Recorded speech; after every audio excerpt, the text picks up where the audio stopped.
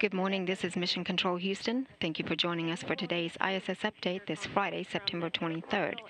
Aboard the orbiting complex, Station Commander Mike Fossum and Flight Engineer Satoshi Furukawa and Sergei Volkov are completing their first full week aboard the orbiting complex as the Expedition 29 crew since departure of their Expedition 28 crew members last week. On orbit, the Expedition crew members continue to conduct research that takes advantage of their microgravity environment to learn more about the human body body biology, physics, and materials. The crew also continues the maintenance and upkeep of their home away from home. Houston Station Mike and Satoshi on one for simulation purposes. We have received a DPDT alarm gathering in ESM.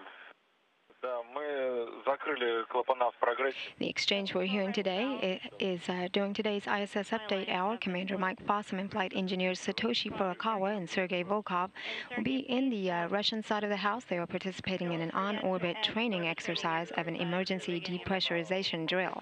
The crew will use this hour in about 20 minutes to review procedures in the event of a cabin pressure leak and also practice an initial crew actions in response to the specific emergency case.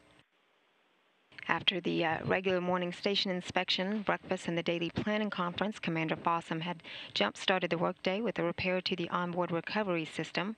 He spent a couple hours this morning removing a faulty fluids control and pump assembly of the urine processor assembly and replaced it with a new part to bring that system, the, uh, the system that converts wastewater, urine, and condensation to potable drinking water back online. Fossum also spent some time in the Destiny laboratory this morning to configure and load software onto an Express laptop computer that is used in conjunction with the science rack that supports ongoing experiments.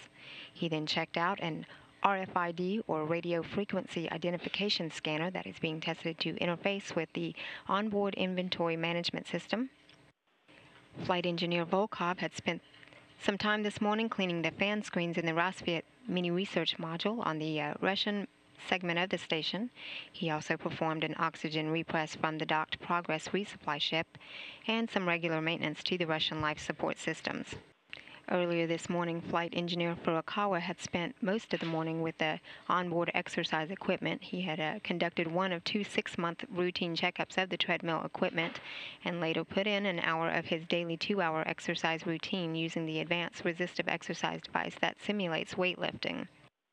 After practicing today's depressurization drills, uh, Commander Fossum will activate and check out the water recovery system that he had repaired earlier this morning. The crew members will then follow up today's emergency depressurization drill with a space to ground conference to review their performance and discuss any lessons learned.